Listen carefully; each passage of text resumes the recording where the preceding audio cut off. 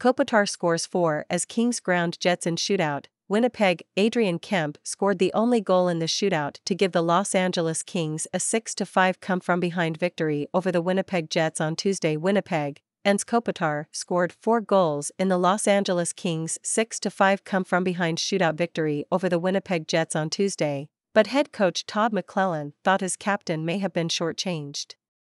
He had the hot hand. Anything he shot had a chance, McLellan said of the 17 year veteran forward. Not only did he get the four, but he probably could have had six, so we're really happy for him. Great leadership, stepping up and pulling us through at the back end of a trip when it doesn't look real good. A lot of other guys followed him. The Jets led 2 0 after the first period and 5 3 following the second. Los Angeles forward Gabriel Vilardi tied the game 5 5 with 4.06 remaining in the third period when he grabbed a loose puck after a jet fell and fired it past Winnipeg netminder Connor Hellebuyck. Adrian Kempe scored the only goal in the shootout. We'd like to be on the other side of things and play with the lead, but sometimes you've got to come from behind. It feels good, Kopitar said. Drew Doughty had a pair of assists and Pheonix Copley made 26 saves for the Kings, 34-20-8, who ended a five-game road trip with a 2 2 1 mark. Winnipeg All-Star defenseman Josh Morrissey scored twice and added a pair of assists, the first four-point game of his career. He also praised Kopitar. He looks the same as I remember watching him when I was a kid, Morrissey said. It's pretty impressive that he's able to play at that level. Unfortunately for us, he brought his A game today. The Jets lost their fourth consecutive game, 0 3 1, their first four game losing streak of the season. Winnipeg is now 1 5 1 in its last seven outings. Kevin Stenlund had a pair of goals, and Kyle Connor also scored for the Jets, 35 24 2. Mark Scheifele and Dylan DeMelo each contributed two assists. Hellebuyck stopped 32 shots for Winnipeg, which ended a three game homestand. Jets head coach Rick Bowness liked his team's effort.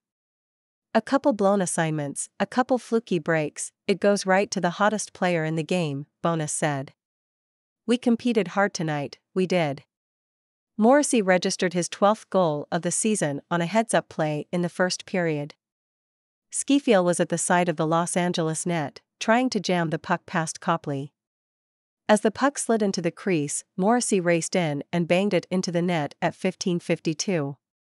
Blake Wheeler assisted on the goal, recording the 600th helper of his NHL career.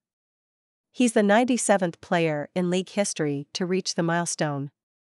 Morrissey made it 2 0 just over a minute and a half later when his blast from the point went high past Copley at 1735. Los Angeles got on the board 26 seconds into the second period. Six seconds after Jets defenseman Neal Pionk was called for holding, Kevin Fiala sent a pass to Kopitar and he fired the puck by Hellebuyck for his 21st of the season. Winnipeg responded with Connor's 27th goal to make it 3 1, but Kopitar tied it by tipping in two goals.